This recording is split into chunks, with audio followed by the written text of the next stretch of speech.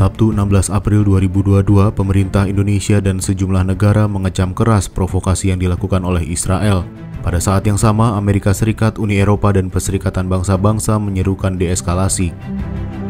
Ketegangan warga Palestina dan aparat keamanan Israel berlangsung sejak Jumat 15 April 2022 pagi di Komplek Masjidil Aqsa, Yerusalem.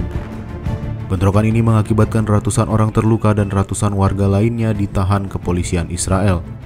Bentrokan terjadi bertepatan dengan bulan suci Ramadan bagi umat Islam, perayaan Tri Hari Suci bagi umat Kristiani, dan Hari Raya Paskah bagi umat Yahudi.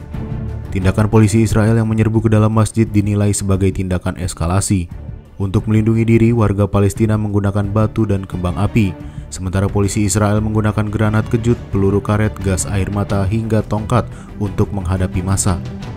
Pihak berwenang Israel menyebut sebelum kerusuhan pecah mereka telah bernegosiasi dengan para pemimpin muslim Palestina untuk memastikan situasi terkendali.